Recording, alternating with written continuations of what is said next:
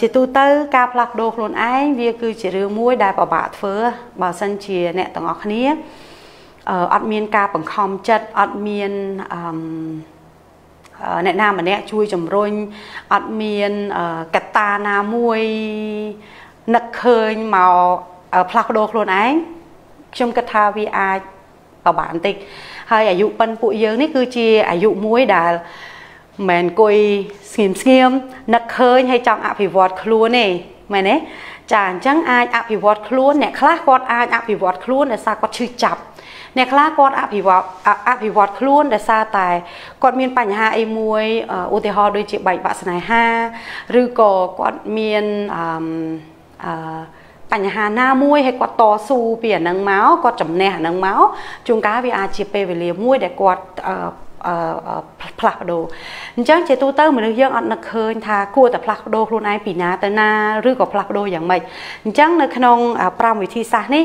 ជាដំបូងវិធីសាស្ត្រទី1ឬក៏របៀបនៅក្នុងការផ្លាស់ប្ដូរខ្លួនឯងចំណុចទី1គឺផ្ដោតទៅលើការកំណត់គោលដៅ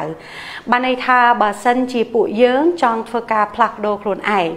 យើងត្រូវដឹងសិនថាតើយើងចង់ធ្វើការផ្លាស់ប្ដូរខ្លួនឯងពីណាទៅណាពីយ៉ាងម៉េចទៅយ៉ាងម៉េច ចា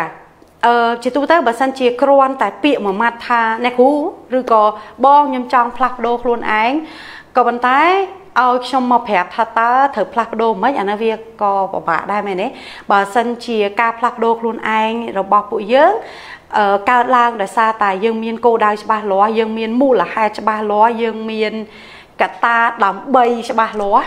ចា ថាតើយើងអភិវឌ្ឍខ្លួនដើម្បីអីរឿងអីបើយើងអភិវឌ្ឍខ្លួនមូលហេតុដែលយើងអភិវឌ្ឍខ្លួនដោយសារយ៉ាងម៉េចហើយអភិវឌ្ឍពីណាទៅណាអភិវឌ្ឍដោយរបៀបណាអានឹងវានឹងមកតាមក្រោយ នៅពេលដែលពួកយើងអត់ដឹងថាតើអឺខ្លួនឯងត្រូវការពីពីណាទៅណាត្រូវការយ៉ាងម៉េចអានឹងយើងរយើងទោះបីជាវិធីសាស្ត្រ បន្តបន្តមកទៀតឬក៏របៀបបន្តបន្តទៀតល្អប៉ុណ្ណាក៏ដោយក៏អត់ទៅរួចដែរអញ្ចឹងជាដំបូងអ្នកទាំងអស់គ្នាត្រូវកំណត់គោលដៅជាមុនសិន ជាទូទៅការកំណត់គោលដៅបើសិនជាអ្នកទាំងអស់គ្នាអឺពិបាកនៅក្នុងការធ្វើអ្នកទាំងអស់គ្នាអាចកំណត់អឺគោលដៅរយៈពេលខ្លីដោយមិនចាំបាច់វែងពេកក៏បានដែរពីព្រោះ ការកំណត់គោលដៅរយៈពេលខ្លីវាធ្វើឲ្យអ្នកទាំងអស់គ្នាអាចប៉ាន់ស្មានលទ្ធផលបានឬក៏អាចវាស់វែងលទ្ធផលបាន ដែលអាចជាចំណែកមួយ ដែលជាកម្លាំងចិត្តឲ្យអ្នកទាំងអស់គ្នាអាចទៅមុខបានទៀតក៏ប៉ុន្តែបើសិនជាអ្នកទាំងអស់គ្នាចាប់ផ្ដើមជាមួយនឹងគោលដៅវែងវែងវាប្រើពេលយូរពេលខ្លះវាអត់មានភាពអត់ធន់ចាខ្ញុំជឿថាភាពអត់ធន់វាមានកម្រិត អ្នកខ្លះតស៊ូមែនតែនដល់ ដំណាក់កាលចុងក្រោយប៉ុន្តែអ្នកខ្លះទៀតក៏អត់តស៊ូទេអញ្ចឹងអឺការកំណត់គោលដៅតាមការណែនាំរបស់ខ្ញុំបើសិនជាតឹមតែចាប់ផ្ដើមធ្វើ គួរតែកំណត់គោលដៅតិចចាបានន័យថាទំហំនៃការចង់បានតិចបានហើយហើយរយៈពេលនៅក្នុងការធ្វើក៏កុំសូវច្រើនពេកដែរនៅពេលនោះពួកយើងអាចធ្វើរឿងនឹងបានបើសិនជាពួកយើងចាប់ផ្ដើមឡើងដោយគោលដៅប៉ុណ្ណានៃប្រើរយៈពេល ធំធេងមែនតើអូយទៅរួចទេអូនចាយកមានកម្លាំងចិត្តទេមែនទេអឺដូចខ្ញុំធ្លាប់ឧទាហរណ៍រឿងខ្ញុំហាត់ប្រានឲ្យស្ដាប់ចឹងវាដូចគ្នាវាអត់ខុសគ្នាទេបើសិនជាចាប់ផ្ដើមភ្លាម ហាត់ប្រានគេឲ្យរត់2គីឡូ3គីឡូដីគ្រាន់តែយើងលឺយើងមានអារម្មណ៍ថាហើយរត់មិនបាន2 3គីឡូដីហ៎តែផ្ទុយទៅវិញ បើសិនជាឲ្យរត់ធំតែកន្លះគីឡូដីអូខេទៅបាន ហើយ មានអារម្មណ៍ទៅទៀតពីព្រោះអីយើងរត់បានមែននៅពេលដែលយើង set សិតតែ3គីឡូ4គីឡូចប់បាត់ហើយខ្ញុំលើចប់មុនគេអូខេអឺខ្ញុំនឹងចេញប្រធានបទក្រោយៗនេះពាក់ព័ន្ធជាមួយនឹងការកំណត់គោលដៅដោយសារវាជាការស្នើសុំរបស់កូនសិស្សដែលគាត់រៀននៅវគ្គ online course ជាមួយខ្ញុំ soft skill ហ្នឹងគាត់បានសំណងពរ គាត់បានសួរពាក់ព័ន្ធជាមួយនឹង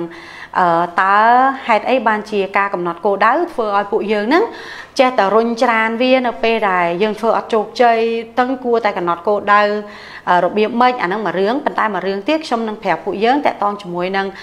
អឺហេតុអីបានជាយើងកំណត់គោលដៅហើយវាចេះតែបរាជ័យវាមានកត្តាអីខ្លះអញ្ចឹងខ្ញុំនឹងចេញវីដេអូជូនចា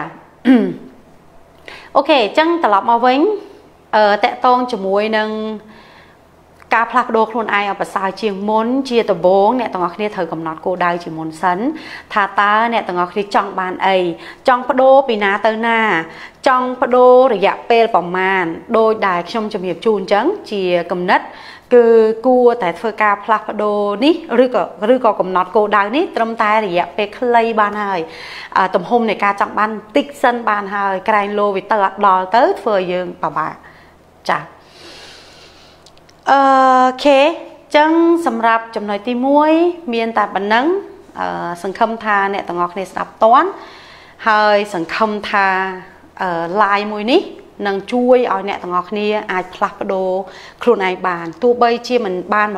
100%ខ្ញុំសង្ឃឹមថាវាអាចបាន50 30 40 80 90ក៏ល្អប្រសើរជាងអត់ធ្វើអីសោះដែរចាអញ្ចឹង អឺសង្ឃឹមថា live ខ្ញុំមួយនេះនឹងចែកជូនទៅតាមរយៈអ្នកទាំងអស់គ្នា ដើម្បីជាចំណែកក្នុងការជួយឲ្យគ្រប់គ្នាដែលជា friend របស់ពួកយើងក្នុង Facebook ហ្នឹងដឹងផងថាតើការផ្លាស់ប្ដូរខ្លួនឯងហ្នឹងគាត់ផ្លាស់ត្រូវធ្វើបែបណាខ្លះអូខេអញ្ចឹងបន្ទាប់ពីពួកយើងធ្វើការកំណត់គោលដៅរួចរាល់ហើយធ្វើការកំណត់នៅការផ្លាស់ប្ដូររួចរាល់ហើយ ថាយើងបដូរពីណាទៅណាបដូរ រយៈពេលប្រមាណចាឥឡូវនេះចូលមកដល់ចំណុចទី2គឺតកតងជាមួយនឹងការស្វែងរកនៅកម្លាំងចិត្តឬក៏យើងអាចនិយាយបានថាស្វែងរកកតាណាមួយ ដែលជាកតាជំរុញចាជាទូទៅបើសិនជាអ្នកខ្លះគាត់មានភាពឈឺចាប់គាត់អាចយកភាពឈឺចាប់របស់គាត់នឹងជាកតាជំរុញបាន ពីព្រោះបើបើនិយាយទៅនិយាយកន្លងមកណា ភាកច្រើនមនុស្សចូលចិត្តយកភាពឈឺចាប់របស់ខ្លួនឯងជាកតាជំរុញខ្លួនឯងក៏ប៉ុន្តែវាមានកតាជាច្រើនអាចដូចជាពេលខ្លះកតាដែលជំរុញនឹងលើកទឹកចិត្តពួកយើងអាចជាកតាផ្សេងទៀតដូចជាយើងចង់ធ្វើឲ្យឪពុកម្ដាយរបស់យើងមានមោទនភាពជាមួយយើងយើងចង់ធ្វើឲ្យបងប្អូនឬក៏អ្នកណាមួយឃើញថាយើងជាមនុស្សបែបណាឬក៏ជាអីក៏បានដែរដែលជាកតា ជាកម្លាំងជំរុញដែលជួយឲ្យអ្នកទាំងអស់គ្នាហ្នឹងនៅពេលដែលធ្វើរឿងហ្នឹងមានមានទឹកចិត្តមានអារម្មណ៍អឺមានធម៌ពលនៅក្នុងការធ្វើចាអញ្ចឹងអឺត្រឡប់មកវិញ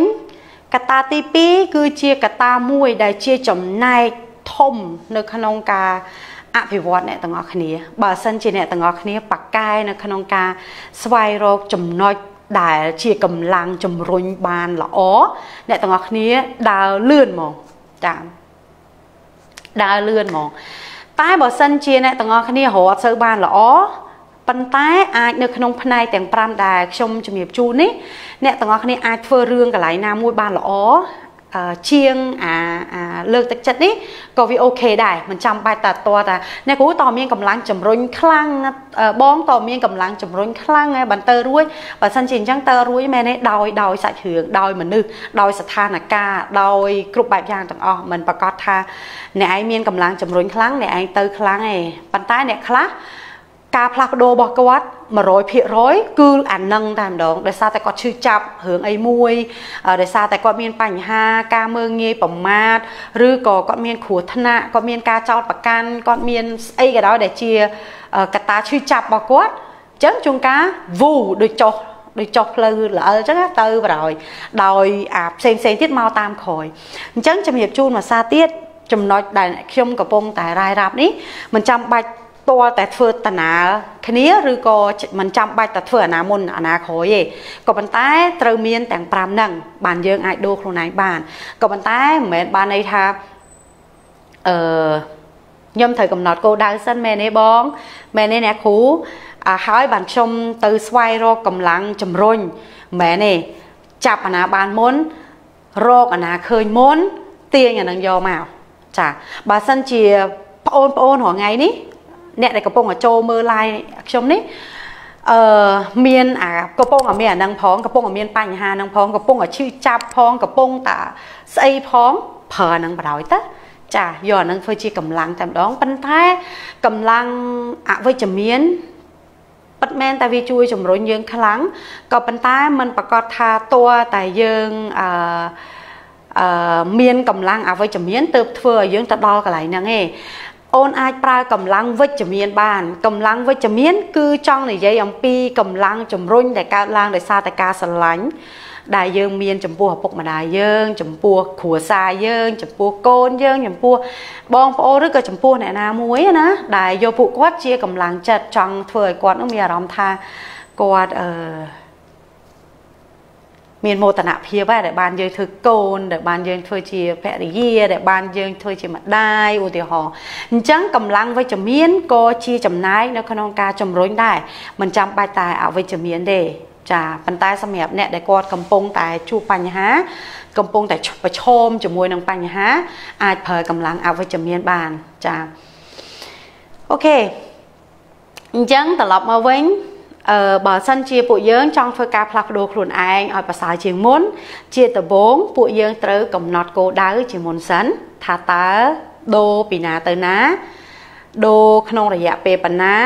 ចាបន្តមកទៀតពួកយើងត្រូវស្វែងរកកត្តាទាំងឡាយណា អាចជាមនុស្សអាចជារឿងរ៉ាវអាចជាអ្នកណាក៏បានរឿងអីក៏បាន ដែលជាកម្លាំងជំរុញឲ្យពួកយើងហ្នឹង ឈានទៅមុខឲ្យពួកយើងនឹងមានកម្លាំងមានធម៌ពលនៅក្នុងការធ្វើរឿងហ្នឹងអូខេដោយឡែកទី3គឺអឺការផ្លាស់ប្ដូរបរិយាកាសឬក៏ស្ថានភាពនៅជុំវិញអឺជាទូទៅខ្ញុំឧទាហរណ៍មួយនៅពេលដែលនិយាយរឿងហ្នឹងណាបើសិនជាចង់បើសិនជាចង់សម្រកតងន់ឧទាហរណ៍បើនិយាយអំពីស្ថានភាពបរិយាកាសគឺចង់និយាយបានន័យថា បើសិនជាខ្លួនឯងចង់ប្រស្រកតងន់ប៉ុន្តែបើទូតកកទៅសិតតែមហូបសិតតែគ្រឿងញ៉ាំសិតតែអីអីទាំងអស់អញ្ចឹងមកន័យថាវាអត់ស៊ីមេត្រីមួយគ្នាវាអត់ដើរមួយគ្នាអញ្ចឹងនៅពេលដែលអត់ដើរមួយគ្នាអញ្ចឹងវាអាចបកកជាបញ្ហាឲ្យយើងនឹងពិបាកធ្វើចិត្តដែរចាយើងត្រូវការប្រអត់អាហារឧទាហរណ៍នៅក្នុងគ្រួសារមួយស្រាប់តែយើងអត់ញ៉ាំអាហារពេលល្ងាចទេ ប៉ុន្តែអីដែលសំខាន់ឲ្យតែពេលល្ងាចឡើងអាហារវាឆ្ងាញ់ឆ្ងាញ់យើងនៅអត់បានហ្មងទេចាបានតែយើងទ្រាំអត់បានហ្មងទេមិនយូរមិនឆាប់យើងនឹងញ៉ាំអាហារពេលល្ងាចហើយពីព្រោះបរិយាកាសនិងស្ថានភាពវាអត់អំណោយផលអញ្ចឹងបានន័យថានៅពេលដែលអ្នកទាំងអស់គ្នាចង់បដូរខ្លួនឯងចង់ផ្លាស់ប្ដូរខ្លួនឯងឲ្យប្រសើរជាងមុនរៀបចំស្ថានភាពបរិយាកាសឲ្យបានល្អស្ថានភាពបរិយាកាសពេលខ្លះវាពិបាករៀបដោយសារតែពេលខ្លះយើង យើងជាចំណាយទូចមួយនៅក្នុងរឿងហ្នឹងដោយมันមានសិទ្ធខ្លាំងពេកនៅក្នុងការធ្វើมันមានសិទ្ធខ្លាំងពេកអឺនៅក្នុងការសម្រេចឲ្យស្ថានភាពនោះវាទៅជាបែបណាក៏ប៉ុន្តែយើងអាចធ្វើសម្រាប់ខ្លួនយើងបានបើសិនជាយើងដឹងថារៀងរាល់ពេលល្ងាចដឹងតែពួកគាត់ញ៉ាំអីជុំគ្នាឲ្យឆ្ងាញ់ឆ្ងាញ់អញ្ចឹងដើម្បីរក្សាខ្លួនឯងដើម្បីធ្វើឲ្យខ្លួនឯងជាមនុស្សម្នាក់ដែលគោរពតាមគោលការណ៍របស់ខ្លួនឯង អឺអាចកិច្ចទៅណាសិនទៅអាចឡើងទៅបន្ទប់ឬក៏ពេលដែលគេកំពុងញ៉ាំនឹងព្យាយាមធ្វើយ៉ាងណាឲ្យស្ថានភាពកន្លែងហ្នឹងមិនមែនជាស្ថានភាពជំរុញឲ្យយើងអនុវត្តនៅអ្វីដែលយើងមិនចង់ធ្វើទៀតចាអញ្ចឹងកត្តាទី3គឺកត្តាបរិយាកាសនិងស្ថានភាពដែលនៅជុំវិញពួកយើងមិត្តភ័ក្តិក្តីបងប្អូនក្តីអឺអ្នកដែលពាក់ព័ន្ធ រឿងរ៉ាវដែលពាក់ព័ន្ធទាំងឡាយសិតតែជាចំណែកដែលអ្នកទាំងអស់គ្នាត្រូវរៀបចំបរិយាកាសខ្លះស្ថានភាពខ្លះឬក៏អ្នកដែលពាក់ព័ន្ធខ្លះពេលខ្លះគាត់អឺអត់មានចំណែកប៉ុន្តែពេលខ្លះគាត់មានចំណែកខ្លាំងមែនតើដែលធ្វើឲ្យពួកយើងហ្នឹងអត់មានធម៌ពលនៅក្នុងការផ្លាស់ប្ដូរខ្លួនឯងទេចាខ្ញុំឧទាហរណ៍មួយដោយដែលបើសិនជាអ្នកទាំងអស់គ្នាមានមិត្តភ័ក្តិដែលជួបគ្នាលើកណាក៏នាំគ្នាតែញ៉ាំជួបគ្នាលើកណាក៏នាំគ្នាតែ និយាយដើមគេគ្នាតែធ្វើរឿងអីមួយឧទាហរណ៍ណាអញ្ចឹងនៅពេលដែលនៅក្នុងសង្គមនៅស្ថានភាពបែបនេះបើសិនជាពួកយើងអត់ធ្វើការផ្លាស់ប្ដូរទេអឺពួកយើងពិបាកផ្លាស់ប្ដូរខ្លួនឯងចា៎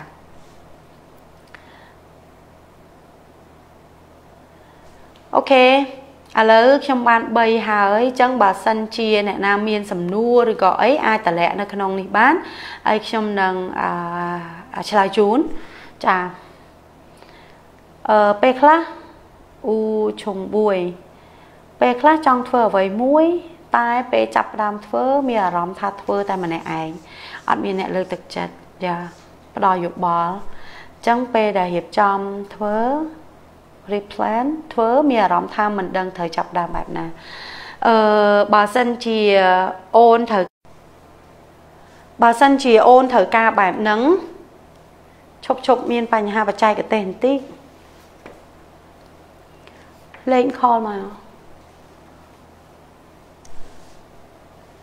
អូខេបើសិនជាអូនជាជាអឺអីគេបើសិនជាអូនជាមនុស្សម្នាក់ដែលត្រូវការព្រោះធម្មជាតិរបស់មនុស្សអត់ដូចគ្នាណាអូនអ្នកខ្លះអត់ចាំបាច់មានកតាជំរុញពីអ្នកណាទេ ចាអត់ត្រូវការអ្នកណាទេអត់ចាំបាច់ សួរដែលសួរអំបញ្ញមិញហ្នឹងបើសិនជាយើងអត់មានកម្លាំងចិត្តទេអត់មានអ្នក support យើងទេហើយនៅពេលដែលអត់មានអ្នក support យើងអញ្ចឹងយើងទៅណាអត់រួចយើងមានអារម្មណ៍ថាទៅណាអត់រួចចាយើងធ្វើអត់កើតឬក៏ពេលដែលយើងរៀបចំផ្លាអត់ចេះតែអៈដោយសារតែបញ្ហាมันមានការលើកទឹកចិត្តពីអ្នកដទៃអញ្ចឹងខ្ញុំសូមជម្រាបជូនបន្តិចនៅកន្លែងនេះធម្មជាតិរបស់មនុស្សខុសគ្នាអញ្ចឹងធម្មជាតិរបស់មនុស្សខ្លះ អឺគាត់អត់ត្រូវការអាហ្នឹងបានន័យថាផ្លូវចិត្តគាត់ខ្លាំងគាត់បជាខ្លួនឯងបានគាត់គាត់អឺមានធម្មពលពីខាងក្នុងខ្លាំងចាដល់ពេលចឹងហើយគាត់មិនត្រូវការអ្នកលើកទឹកចិត្តគាត់ទេឬក៏គាត់ត្រូវការដែរក៏ប៉ុន្តែអ្នកលើកទឹកចិត្តអត់សូវមានកម្លាំងច្រើនពេកទេអញ្ចឹងអាចមានតែបន្តិចបន្តួច គាត់អាចធ្វើបានតែអ្នកខ្លះទៀតអត់អញ្ចឹងឯអូនធម្មជាតិវាខុសគ្នាអញ្ចឹងអ្នកខ្លះទៀតគឺត្រូវការអ្នក support ខ្លាំងត្រូវការអ្នកគ្រប់គ្រងខ្លាំងត្រូវការអ្នកជំរុញខ្លាំងទៅទៅមុខកើតអញ្ចឹងហើយសម្រាប់អ្នកដែលគាត់ដឹងខ្លួនឯងថាគាត់ត្រូវការអ្នកដែលជំរុញខ្លាំង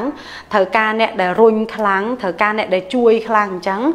អ្នកទាំងអស់គ្នាត្រូវស្វែងរកអ្នកលើកទឹកចិត្តហ្នឹងឲ្យបានសិនមុននឹងចាប់ផ្ដើមធ្វើ តែផ្ទុយទៅវិញបើសិនជាអ្នកទាំងអស់គ្នាមិនជាអីទេចាมันមានរឿងរ៉ាវអីពេកទេឬក៏ផ្លូវចិត្តឬក៏កម្លាំងចិត្តដែលដែលមាននៅពីខាងក្នុងរបស់ខ្លួនឯងហ្នឹងវាអូខេហើយចាវាល្អប្រសើរហើយចាអញ្ចឹងអឺពួកយើងអាចចាប់ផ្ដើមកំណត់គោលដៅបានឬក៏ចាប់ផ្ដើមធ្វើអាស្អីស្អីបន្តទៀតសិនបានចាំរអ្នកលើកទឹកចិត្តក៏បានដែរចា ជំរាបសួរអ្នកមកក្រោយក្រោយចាអ្នកមកក្រោយក្រោយអាចមើលពាក់កណ្ដាលសិនហើយនៅពេលដែលចាប់អាចចូលទៅមើលវីដេអូរបស់អ្នកគ្រូវិញទៅ ចាដោយសារតែប្រធានបទថ្ងៃនេះជាប្រធានបទមួយល្អមែនតើសម្រាប់ពួកយើងតកតងជាមួយនឹងការផ្លាស់ប្ដូរខ្លួនឯងឲ្យល្អជាងមុនឲ្យប្រសើរជាងមុនហើយបើសិនជាអ្នកទាំងអស់គ្នាអនុវត្តបានវា អនុវត្តវាបានល្អប្រសើរទាំង5ចំណុចដែលខ្ញុំរាយរាប់នេះចាអឺអ្នកទាំងអស់គ្នានឹងទទួលបានអឺអីគេទទួលបានការផ្លាស់ប្ដូរយ៉ាងល្អប្រសើរចាក៏ប៉ុន្តែបើសិនជាអ្នកទាំងអស់គ្នា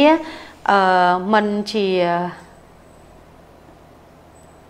អនុវត្តបានអា5នឹងល្អពេកទេ អាចការផ្លាស់ប្ដូរ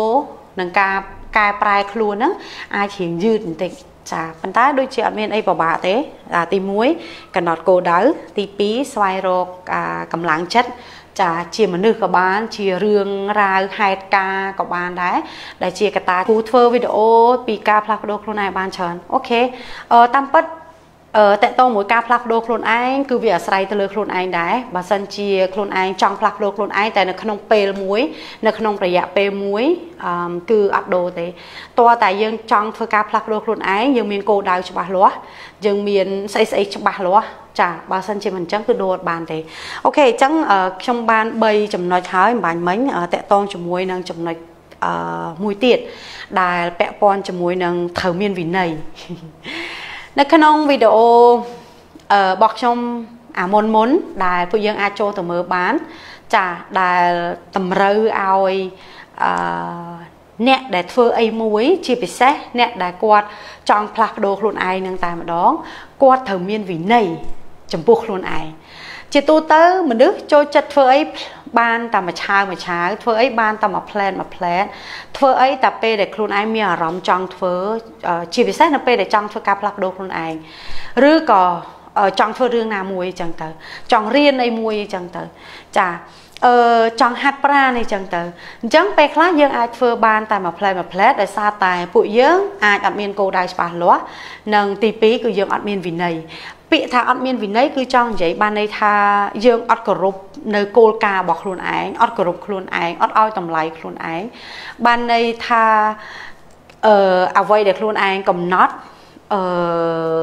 ខ្លួនឯងអត់អនុវត្តតាមចាបើសិនជាអ្នកទាំងអស់គ្នាចង់ឲ្យខ្លួនឯងមានវិន័យសាកគិតអញ្ចេះបើសិនជាខ្ញុំអត់អនុវត្តតាមគោលការណ៍ដែលខ្ញុំដាក់ទេគោលការណ៍ដែលខ្ញុំ កំណត់ទេបានន័យថាខ្ញុំអត់គោរពខ្លួនឯងខ្ញុំអត់ឲ្យតម្លៃខ្លួនឯងអាហ្នឹងមើលងាយខ្លួនឯងអញ្ចឹងអ្នកខ្លះគាត់មានអាកម្លាំងចិត្តមួយគឺគាត់ឈឺចាប់ចាអញ្ចឹងហើយបានជាអឺត្រឡប់មកវិញគឺរាល់ពេលដែលយើងធ្វើអីក៏ដោយភាពជោគជ័យដែលអ្នកទាំងអស់គ្នាទទួលបាន វាផ្អែកទៅលើអវិន័យនឹងមែនតើចាបើសិនជាធ្វើថ្ងៃហ្នឹងស្អែកអត់អត់ទាំងធ្វើផង ឬក៏ធ្វើបាន10ថ្ងៃហើយ10 ថ្ងៃទៅមុខទៀតឈប់ធ្វើបាត់ហើយហ្នឹងអញ្ចឹងវាអត់ឃើញទេអញ្ចឹងការផ្លាស់ប្ដូរខ្លួនឯងហ្នឹងចង់បញ្ជាក់ថា បើសិនជាអ្នកទាំងអស់គ្នាចង់ផ្លាស់ប្ដូរខ្លួនឯងមែនណាចំណុចវិន័យនេះគឺរៀងអឺតឹងបន្តិចរៀងគោរពបន្តិចរៀងច្បាស់លាស់បន្តិចរៀងត្រឹមត្រូវបន្តិច បានអាចដូរខ្លួនឯងបានបើសិនជាកន្លែងនេះអ្នកទាំងអស់គ្នាអត់អាចអនុវត្តបានទេអត់អាចធ្វើបានទេអ្នកទាំងអស់គ្នាពិបាកធ្វើរឿងមិនចាំបាច់តែអភិវឌ្ឍខ្លួនទេរឿងអីក៏ក៏ពិបាកធ្វើដែរពេលខ្លះចង់ធ្វើការងារដែលខ្លួនឯងស្រឡាញ់ក៏ធ្វើអត់កើតដែរឬក៏ពេលខ្លះអឺចង់ធ្វើដូចគេឃើញឃើញមានបានន័យថាមានក្តីសម្បិនចង់ធ្វើអីមួយឃើញគេតំណងចង់ធ្វើមែនតើយើងអត់មានវិន័យយើងធ្វើអត់កើតទេធ្វើបានតាមគេមួយរយៈ អាចត្រឹមអឺអឺមួយរយៈមួយអ្នកដែលបកកែខ្លាំងមែនតើអាចមួយខែអាចពីរខែនៅពេលដែលអត់មានលទ្ធផលអីអត់មានបានជាផ្លែផ្កាអីជួនកាលទៅបាត់ក៏ថាបានជួនកាលឈប់ធ្វើក៏ថាបានចាអញ្ចឹងតកតងជាមួយនឹងវិន័យអញ្ចឹងនៅក្នុងនេះអឺបើសិនជាពួកយើងអត់តន់មើលវីដេអូរបស់ខ្ញុំពាក់ព័ន្ធជាមួយនឹងការកំណត់វិន័យ ពួកយើងអាចចូលទៅមើលវីដេអូចាស់ចាស់របស់ខ្ញុំបានដែលខ្ញុំបង្ហាញអំពីវិធីសាស្ត្រនៅក្នុងការកំណត់វិន័យសម្រាប់ខ្លួនឯងអានឹងវាគឺជារឿងចម្បងសម្រាប់ពួកយើងដែលពួកយើងអាចធ្វើរឿងនឹងបានបើអត់មានវិន័យធ្វើអីក៏អត់កើតដែរធ្វើអីក៏អត់ទៅរួចដែរចាតោះតែមានវិន័យណាអឺអ្នកគ្រូចិត្តចប់នៅចិត្តតិចទៀតតិចទៀត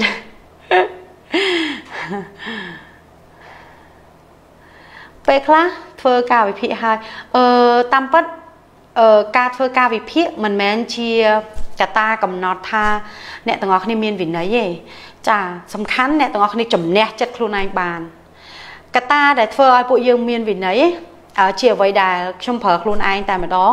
ដល់អត់ចាំបាច់ប្រើតិចនិចដែលខ្ញុំកំពុងតែបញ្ជូនឲ្យពួកយើងតាមរយៈវីដេអូហ្នឹងទេគឺខ្ញុំព្យាយាមជំនះរាល់ពេលដែលខ្ញុំមិនធ្វើគឺពេលហ្នឹងឯងគឺជាពេលដែលខ្ញុំជំនះឧទាហរណ៍ថា អឺខ្ជិលធ្វើរឿងហ្នឹងមែនតើដល់ពេលដែលមានអារម្មណ៍ថាខ្ជិលធ្វើរឿងហ្នឹងមែនតើគឺជាពេលដែលខ្ញុំប្រើចិត្តខ្ញុំមួយទៀតជំនះត្រូវតែធ្វើអញ្ចឹងនៅពេលដែលជំនះញយញយញយញយដដែលដដែលយូរយូរទៅអាពេលខ្លះទៅវាធ្លាប់គឺយើងជំនះខ្លួនឯងបានអឺជាទូទៅបើនិយាយពីអ្នកដែលគោរពវិន័យអឺគឺជាបុគ្គលដែលអាចជំនះខ្លួនឯងបាន ចាបើសិនជាបដែតបដោយតាមអារម្មណ៍ បដែតបដោយទៅតាមស្ថានភាពបរិយាកាសចាបដែតបដោយតាមចិត្តចាអាហ្នឹងគឺទៅអត់កើតទៅទៅមកអត់រួចទេអូនរឿងអីក៏វាទៅអត់រួចដែរតើអត់មានវិន័យទេបើ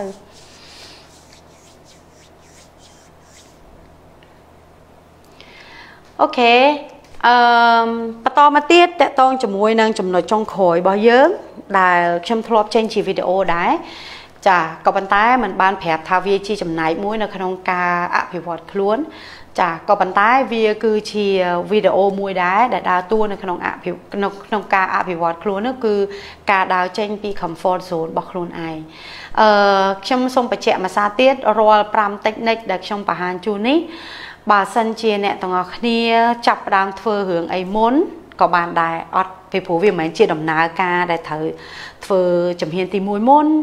ចាហើយបានធ្វើជំហានទី2ហើយបានធ្វើជំហានទី3មិនមែនអញ្ចឹងទេអញ្ចឹងបងប្អូនគិតថាតើផ្នែកណាមួយដែលងាយស្រួលសម្រាប់ខ្លួនឯងឬក៏ផ្នែកណាមួយដែលអាចជាជាការបើកមុខសម្រាប់ចាប់ផ្ដើមកែប្រែឬក៏ផ្លាស់ប្ដូរខ្លួនឯងពួកយើងអាចសេរីផ្នែកនឹងមុនក៏បានដែរដោយខ្ញុំបញ្ជាក់ជូនបាញ់មិញអញ្ចឹងថាអ្នកខ្លះគាត់ប្រើ អឺការជំរុញនិងលើកទឹកចិត្តជាកត្តាចម្បងរបស់គាត់ចាដើម្បីឲ្យគាត់នឹងធ្វើផ្លាស់ប្ដូរខ្លួនឯងអញ្ចឹងអ្នកខ្លះគាត់អាចប្រើការដើរចេញពី comfort zone របស់គាត់ចាអឺអញ្ចឹងយើងអាចប្រើប្រើរឿងណាមួយមុនក៏បានដែរឬបើសិនជាយើងអាចទៅរួចធ្វើបន្តិចបន្តិចផ្អោបទាំង5ហ្នឹងទៅជាមួយគ្នាក៏អូខេដែរចាដើរចេញពី comfort zone ការដើរចេញពី comfort zone នេះ អឺគឺជាការដើរចេញពីតំបន់សវត្ថភាពរបស់ខ្លួនឯងមិនដើរចេញពីផ្ទះហើយណាដើរចេញពីតំបន់សវត្ថភាពរបស់ខ្លួនឯងចង់និយាយបានន័យថាដើរចេញពីទម្លាប់ដែលខ្លួនឯងធ្លាប់ធ្វើពីមុនមករបៀបដែលខ្លួនឯងធ្លាប់ធ្វើពីមុនមកអ្វីអ្វីដែលខ្លួនឯងធ្លាប់ធ្វើពីមុនមកជារឿយរឿយដែលរហូតคลายទៅជាទម្លាប់ពីព្រោះបើសិនជា យើងអត់ដើរចេញពីអាហ្នឹងទេយើងនៅតែធ្វើអាហ្នឹងយើងអត់ទៅណាយើងនៅប៉ុណ្្នឹងឯងអឺឧទាហរណ៍ខ្ញុំឧទាហរណ៍មួយដូចជាខ្ញុំជាគ្រូបង្រៀនអញ្ចឹងជាទូទៅជាគ្រូបង្រៀនមានមុខវិជ្ជាច្រើនដែលត្រូវបង្រៀនអញ្ចឹងអាមុខវិជ្ជាច្រើនដែលត្រូវបង្រៀនហ្នឹងមិនមែនមិនមែនចេះតែនឹកឃើញបង្រៀនហើយក៏មិនមែនចេះតែអឺ បរិញ្ញារហូតទៅអើយណាបានន័យថាបរិញ្ញាមុខវិជ្ជា A អញ្ចឹងបរិញ្ញាតែមុខវិជ្ជា A ទៅរហូតទៅអញ្ចឹងឬក៏ត្រូវតែបដូរទៅមុខវិជ្ជា B វាមិនមែនតែអញ្ចឹងរហូតទេក៏ប៉ុន្តែបើសិនជាអ្នកទាំងអស់គ្នាចង់អភិវឌ្ឍខ្លួនចង់បដូរខ្លួនចង់ផ្លាស់បដូរខ្លួនសាកអន្សឹមអន្សឹមចាបឆោតអន្សឹមអន្សឹមបើសិនជាទ្រលាប់ធ្វើរឿងអីកំពុងតែធ្វើរឿងអីឧទាហរណ៍បើនារីនារីវិញអត់ចូលចិត្តផាត់មុខទេអត់ចេះផាត់មុខទេ ចាអញ្ចឹងចង់អភិវឌ្ឍខ្លួនឲ្យខ្លួនឯងគឺជាមនុស្សស្រីម្នាក់ដែលចេះផាត់មុខដូចគេ ចេះតបតបតែងខ្លួនដូចគេអញ្ចឹងកុំកុំថ្ងៃទី1ហ្នឹងលេងផាត់មុខឲ្យក្រាស់ខ្មឹកកុំអញ្ចឹងអីចាពីព្រោះពេលខ្លះនៅពេលដែលអញ្ចឹងពេកអាចធ្វើឲ្យខ្លួនឯងទទួលយកខ្លួនឯងអត់ទាន់បានឬក៏អារឿងផាត់មុខអត់អីប៉ុន្តែរឿងផ្សេងយើងពិបាកធ្វើអញ្ចឹងហើយបានជាយើងទៅសឹមសឹមចេញពី comfort zone មែនចេញពីតំបន់សុវត្ថិភាពរបស់យើងមែនប៉ុន្តែចេញតិចតិច កុំចេញខ្លាំងពេកចាបើចេញខ្លាំងពេកវាអាចគ្រោះថ្នាក់វាអាចការងារខ្លះវាពិបាក ការងារខ្លះវាអត់អីពេលដែលយើងចេញខ្លាំងទៅ វាគ្រាន់តែធ្វើយើងពិបាកខ្លាំងប៉ុន្តែការងារខ្លះវាអាចប្រឈមមួយបញ្ហា នៅពេលដែលយើងអត់ដែរដឹងរឿងហ្នឹងផងខ្ញុំធ្វើការផ្នែក A ដល់ពេលខ្ញុំចង់ចេញពី comfort zone ខ្ញុំទៅធ្វើការងារផ្នែក B អញ្ចឹងអាចកំតន់ចេញពីការងារផ្នែក A ទៅធ្វើការងារផ្នែក B អីនៅធ្វើការងារផ្នែក A ដដែលគ្រាន់តែព្យាយាមរៀនសូត្រពីការងារផ្នែក B ថាតើការងារផ្នែក B គេធ្វើពីអីខ្លះអ្នកដែលធ្វើហ្នឹងត្រូវចេះអីខ្លះអ្នកដែលធ្វើហ្នឹងត្រូវមានជំនាញឬក៏បទពិសោធន៍យ៉ាងម៉េចខ្លះហើយខ្ញុំអាចធ្វើទៅបានទេវាពិបាកប៉ុណ្ណាព្យាយាមស្វែងយល់ពីវាហើយលោបលោបទៅម្ដងបន្តិចម្ដងបន្តិចចាយូរយូរទៅវានឹងប្រសើរអូខេបើសិនជាពួកយើងទៅលឿនទៅកំហុកសម្រុកអាហ្នឹងវារៀងគ្រោះថ្នាក់ចារៀងគ្រោះថ្នាក់បន្តិចការងារខ្លះគ្រោះថ្នាក់មែនណាចាអញ្ចឹងត្រឡប់មកវិញ អឺសម្រាប់ការផ្លាស់ប្ដូរខ្លួនឯងតាមការពិតបើឲ្យខ្ញុំនិយាយវិញខ្ញុំនិយាយថាអត់ពិបាកទេបើសិនជាពួកអូនចង់បើសិនជាចង់បើសិនជាចង់ផ្លាស់ប្ដូរខ្លួនឯងសូមនិយាយពាក្យថាអត់ពិបាកទេចាហើយកុំព្យាយាមអឺចង់បានអាការផ្លាស់ប្ដូរនឹងលឿនហួសហេតុពេកចង់ឃើញមករំពេចភ្នែកមកចំហៀនមកសង្គងចាលឿនពេកអញ្ចឹងនៅពេលដែលលឿនពេក យើងរំពឹងខ្ពស់ពេកនៅពេលដែលអត់បាន តាំងចាប់ដើមអូខ្ញុំដូរខ្លួនឯងអត់បានប៉ុណ្ណឹងខ្ញុំប្រើតិចនិចអីអស់ហើយខ្ញុំព្យាយាមប្រើគ្រប់សពអស់ហើយប្រើវិធីសាស្ត្រអឺអឺដែលអ្នកគ្រូប្រាប់ហើយខ្ញុំគ្រប់សពអស់ហើយតែខ្ញុំដូរខ្លួនឯងអត់កើតប៉ុណ្ណឹងចាអញ្ចឹងសរុបមកវិញការដូរខ្លួនឯងតាមពិតបើសិនជាពួកយើងអឺ មានអីតិចតួចនៅក្នុង5ចំណុចដែលខ្ញុំជំរាបជូនមិញហ្នឹងប៉ុន្តែអាផ្នែកធំជាងគេវិន័យដែលអ្នកទាំងអស់គ្នាមានខ្លាំងអាហ្នឹងអែហ្មងចាអា4ទៀតទៅតិតតិតតិតទៅហើយអាវិន័យហ្នឹងគឺដាប់ឲ្យជាប់ចាព្រោះអាវិន័យហ្នឹងវាសំខាន់មែនតើសម្រាប់ពួកយើងចាយើងចង់ធ្វើអីក៏ដោយតែមានអាហ្នឹងគឺទៅ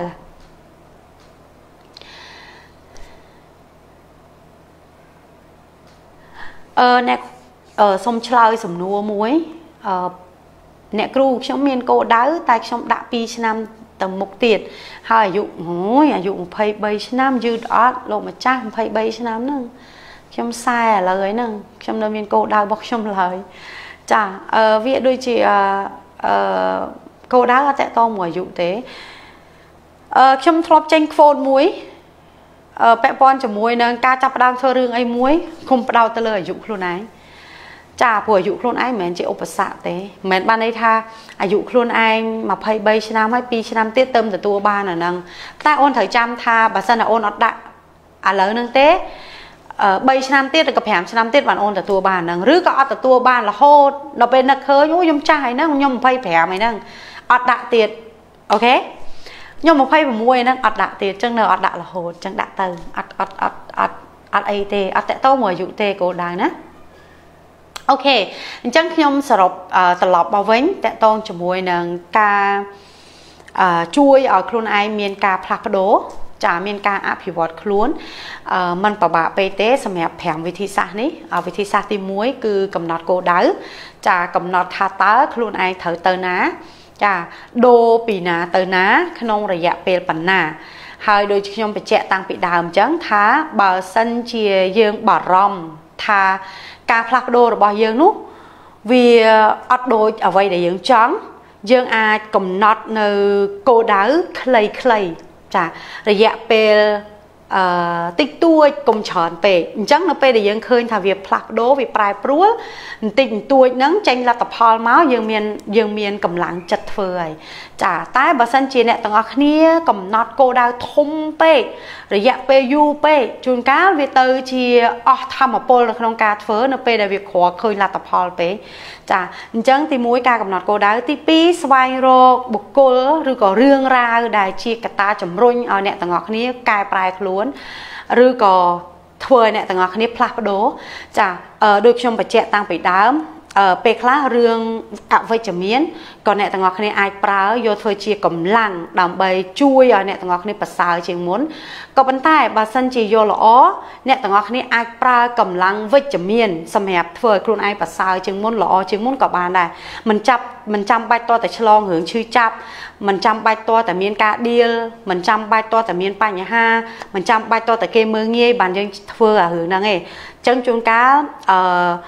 យើងយកអាកម្លាំងជំរុញវិជ្ជមានរបស់ឪពុកម្ដាយយើងកម្លាំងជំរុញវិជ្ជមាន ដែលមនុស្សស្រឡាញ់យើង គេគ្រប់គ្រងយើង គេចង់មានមោទនភាពចំពោះយើងអាយកអានឹងជាកម្លាំងជំរុញក៏បានដែរហើយនឹងទី3នោះគឺស្ថានភាពនិងបរិយាកាសត្រូវស័ក្តិសមជាមួយនឹងអ្វីដែលយើងកំពុងតែធ្វើអូខេបើសិនជាយើងចង់ធ្វើរឿងនឹងមួយប៉ុន្តែស្ថានភាពនិងបរិយាកាសអត់អំណោយផលប៉ុណ្ណឹងយើងធ្វើរបៀបម៉េច ចាអញ្ចឹងយើងធ្វើអត់កើតទេអញ្ចឹងស្ថានភាពបរិយាកាសគឺជាចំណែកមួយ ដែលជួយឲ្យអ្នកទាំងអស់គ្នាហ្នឹងអភិវឌ្ឍខ្លួនបានដូចគ្នា ចាអឺដូចខ្ញុំនិយាយតកតងមួយមិត្តភ័ក្តិខ្លះសកម្មភាពខ្លះឬក៏អ្នកពាក់ព័ន្ធខ្លះมันបានធ្វើឲ្យយើងល្អប្រសើរទេ ចាអញ្ចឹងព្យាយាមស្វែងរកស្ថានភាពណា ដែលជួយ support អាអាអាការចង់ផ្លាស់ប្ដូររបស់យើងអូខេ និងមួយទៀតគឺត្រូវមានវិន័យចំពោះខ្លួនឯងគោរពខ្លួនឯងឲ្យតម្លៃខ្លួនឯងគោរពតាមអ្វីដែលខ្លួនឯងកំណត់ថាខ្ញុំធ្វើរឿងហ្នឹងថ្ងៃហ្នឹងជារៀងរាល់ថ្ងៃខ្ញុំត្រូវតែធ្វើរឿងហ្នឹងទោះបីជាមិនមានអ្នកណាប្រាប់ខ្ញុំក៏ខ្ញុំត្រូវតែធ្វើរឿងហ្នឹងអញ្ចឹងបើសិនជាអ្នកណាអត់មានវិន័យទេអាចចូលទៅមើលវីដេអូខ្ញុំចាស់បានពាក់ព័ន្ធជាមួយនឹងរបៀបនៅក្នុងការជួយឲ្យអ្នកទាំងអស់គ្នា មានវិន័យអូខេចា៎ និងចុងក្រោយគឺការដើរចេញពី comfort zone ដើរចេញពីតំបន់សុវត្ថិភាពរបស់ខ្លួនឯងចាដើរចេញបានកាន់តែលឿនមានវិន័យកាន់តែខ្ពស់មានកតាជំរុញដែលជាបង្អែកនៅពេលដែលចោះចាញ់មានគោលដៅច្បាស់លាស់ផ្លាស់ប្ដូរបរិយាកាសស្ថានភាពបានល្អធានាថាអ្នកទាំងអស់គ្នានឹងដូរចាមិន100%ប៉ុន្តែហ៊ានធានាថានឹងដូរអូខេ ធានាហ្មងណា